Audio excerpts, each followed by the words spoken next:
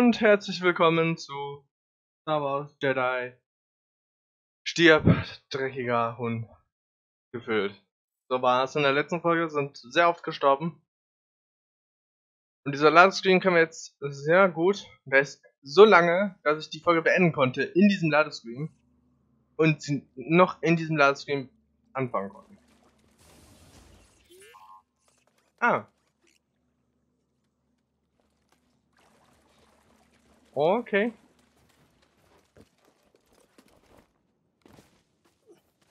Oh nein. Oh, mir fällt gerade was auf. Oh, das ist, das ist ein Problem.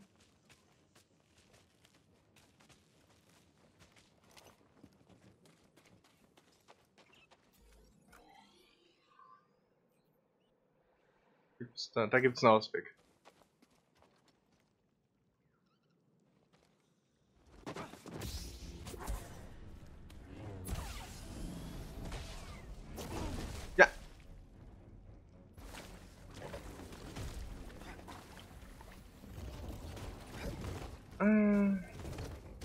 Los, los, los, los! Renn!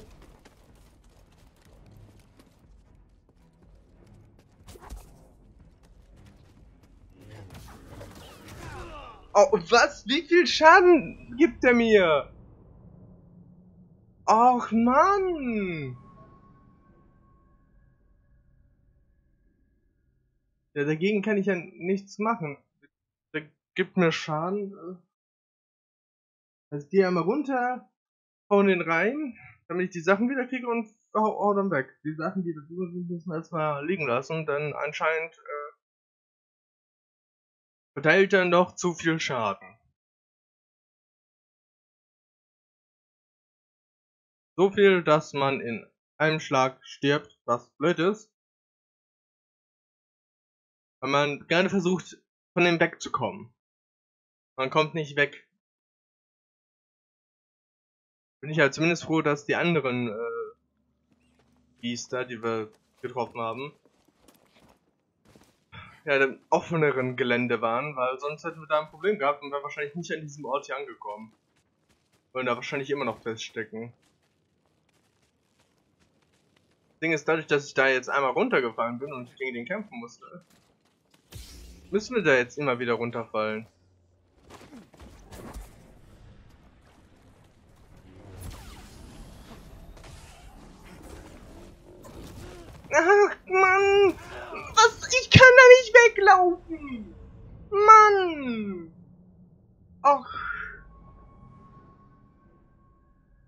War noch gestunt von einem anderen Hit.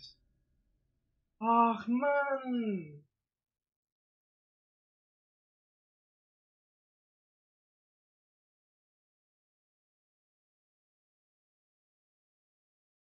Ah, dieses scheiß Ladebildschirm. Was, was muss das jetzt so lange laden?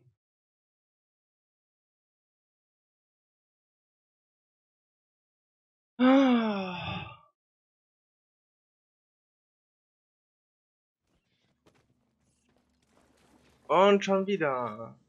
Wieso verliere ich eigentlich alles, wenn ich einmal sterbe? Und wieso muss ich den Gegner dann einmal treffen, damit ich äh, die Sachen wiederkriege, die ich verloren habe?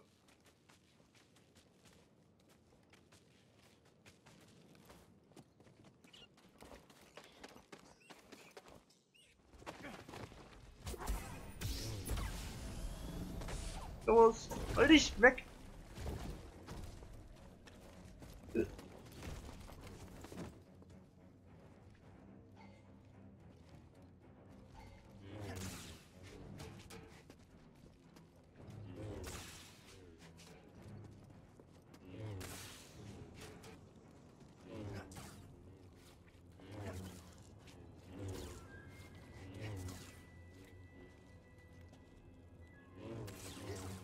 Das wollte ich kaputt machen. Ah, wir sind weg von dem Viech. Und haben all unsere Sachen wieder. Also, Erfahrung und so. Ich habe irgendwie das Gefühl, dass die wird während des Spiels ziemlich rar.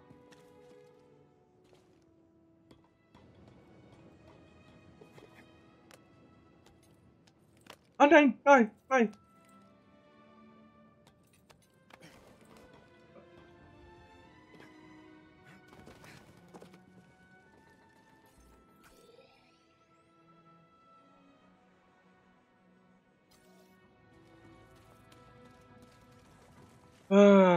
So.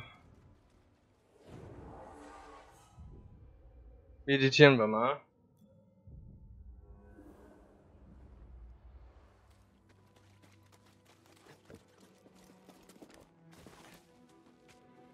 Jetzt wäre ich beinahe da runtergefallen. Ich gehe mal übrigens davon aus, dass ich, wenn ich irgendwo runterfalle, nichts verliere. Weil sonst wäre das ziemlich blöd, wenn ich da meine ganzen Sachen verliere. Und dadurch, dass ich, dass ich keinen Gegner gestorben bin, würde es ja auch heißen,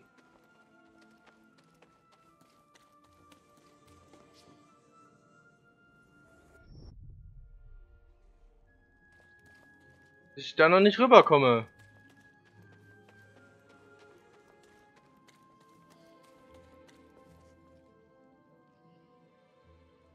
Na Mann, tease mich doch nicht so, Spiel. Ciao.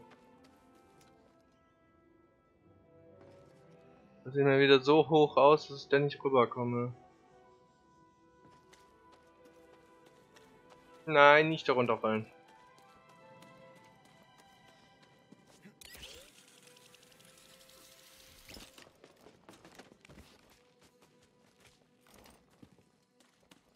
Ja. Kann man meditieren?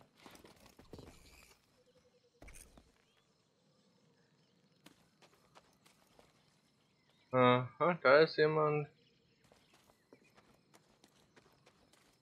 Ah, gehen wir zurück zum Schiff.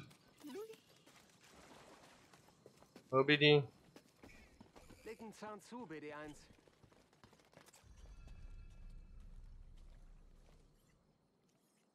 Namensieher. Ihr wusstet von BD1? Komm an Bord. Wir reden drin. Oh, BD1, das ist Grease. Hey, Grease. Was ist das? Runter von meinem Sofa, runter von meinem Sofa. Geh weg, geh weg, raus hier. Das ist BD1. Einer von uns. Mir egal, zu wem er gehört. Hast du eine Ahnung, wie schwierig es ist, Ölflecken aus dem Sofa rauszukriegen? Botuli-Gewebe ist empfindlich. Eigentlich nicht. Ich hoffe, du hast noch was Besseres gefunden als diesen Droiden. Komm runter, Grease. Das hat er. Leg los, Kerl. Das Gewölbe stammt von einer alten Zivilisation, den Sepho. Ein Jedi namens Ino Cordova hat irgendwas darin versteckt.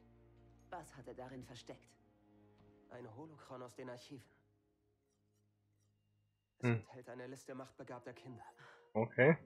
Die nächste Generation der Jedi. Ich wusste es. Ach, Cordova, du alter Narr. Ihr kennt den Mann? Ja, es ist ziemlich lange her. Ich war damals seine Schülerin. Cordova war ein Einzelgänger. Außer dem kleinen Druiden und mir weiß wahrscheinlich niemand von Bogano. Halt, Moment mal, Moment mal. Ein Holo, was? Holocron. Es speichert Informationen, aber nur Jedi haben Zugriff. Wartet kurz, ich glaube, ich habe eins hier.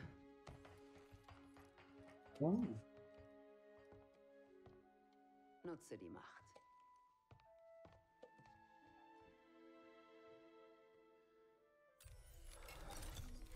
Spricht Meister Obi-Wan Kenobi. Ich bedauere berichten zu müssen, dass unser Jedi-Orden sowie die Republik gefallen sind. Mit dieser Liste von Machtbegabten könnten wir den Orden wieder aufbauen und das Imperium besiegen. Okay, kein Problem. Holen wir sie. Aber das Holokron ist tief im Gewölbe versteckt und wir müssen zuerst Cordovas Pfad folgen. Er hat was über den Planeten Datumir gesagt und über eine Sepho-Heimatwelt. Also gut, wohin fliegen wir? Ich frage nur, weil ich sonst was Schmackhaftes gebrutzelt hätte. Dazu. Bevor es losgeht, Ja, muss ich noch was wissen. Warum seid ihr kein Jedi mehr? Ich hatte ein Erlebnis und sehe jetzt vieles anders. Darum habe ich mich von der Macht getrennt. Aber den Orden wollt ihr wieder aufbauen? Ich glaube, dass der Wiederaufbau des Ordens unsere beste Waffe gegen das Imperium sein wird. Und was glaubst du? Dass ich mich nicht ewig vor dem Imperium verstecken kann, also habe ich keine andere Wahl. Okay. solange du lebst, wirst du immer eine Wahl haben. Seid ihr dabei? Sind dabei. Datumir oder Sepho? Du hast die Wahl.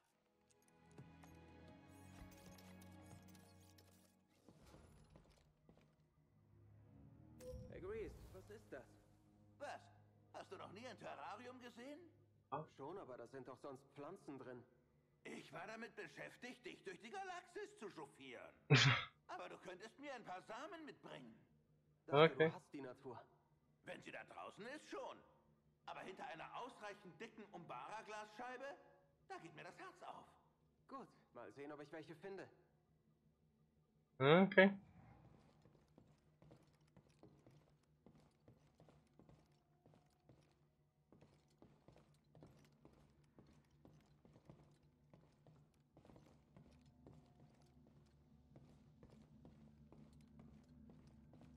Dann kann ich meditieren. Hinten ist eine Werkbank. Ich will mir nämlich das neue Lichtschwertteil anschauen. Aber haben wir immer noch. Und da war. Wo war der Schalter? Mut und Weisheit 2. Ich glaube, wir sollten anfangen, unser Schwert zu individualisieren. Weg von unserem Meister.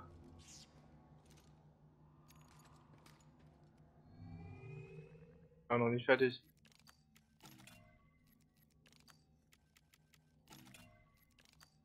Hier haben wir noch nichts.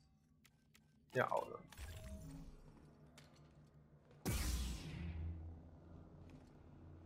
Das ist doch mal schön. Eigenes Lichtschwert. Da können wir jetzt nichts machen. Nee. Ausruhen brauchen wir nicht. Wir sind ja. Das ist die Frage dann halt nur. Wo sind wir? Gib einfach Bescheid, wenn es losgehen soll. Ich hab Hunger. Wolltest du nicht was zu essen machen? Dann nicht.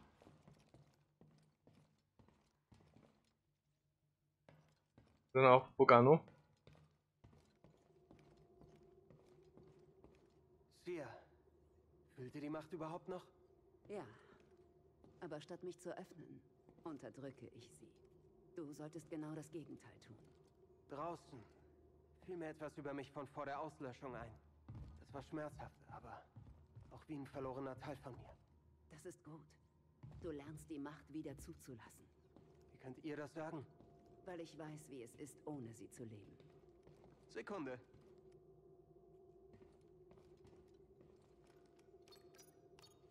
Hm, wohin? Ja, das ist Bogano. 45% erkundet, ja, okay. Ähm, hm, hm, hm, das ist der Funk. Das Datum hier, Also da haben wir eine Aufgabe, dann äh, reisen wir nach Seppo. Grease, wie wär's, wenn wir etwas umdekorieren? Mantis? Wozu denn? Etwas Kunst an den Wänden würde nicht schaden, dann sieht man mal was Neues.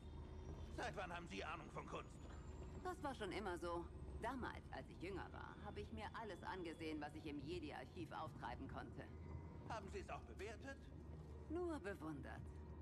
Als ich Sucher wurde, habe ich einiges im Original gesucht. Es gibt so viele Kulturen in der Galaxis und jede hat ihre eigenen Kunstwerke. Hm, Es war atemberaubend. interessant.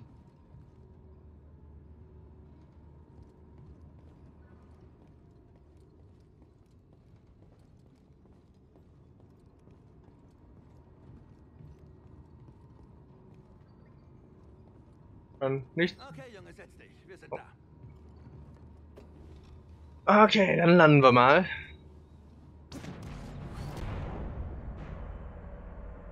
Und das muss dann Sepho sein. Äh, Vielleicht kein guter Zeitpunkt, um hier zu landen. Ja, da stimmt was nicht. Diese Winde stören unsere Kommunikation. Hey, Cordova hat was gesagt von wegen Friede im Auge des Sturms. Und ich sehe eine Ansiedlung genau in der Mitte. Dann müssen wir dorthin. Ja, verstanden.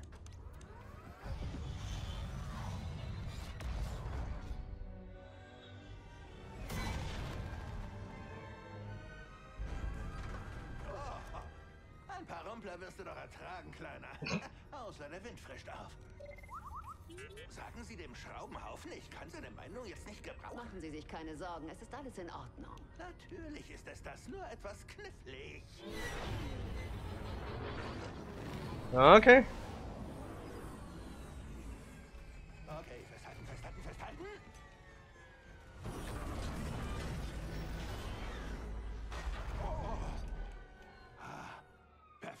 Landung.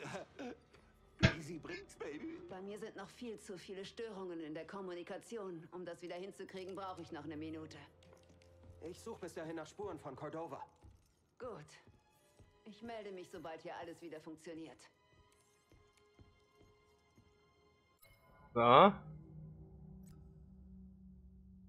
Dafür ziehen wir mal unsere neue Kleidung an.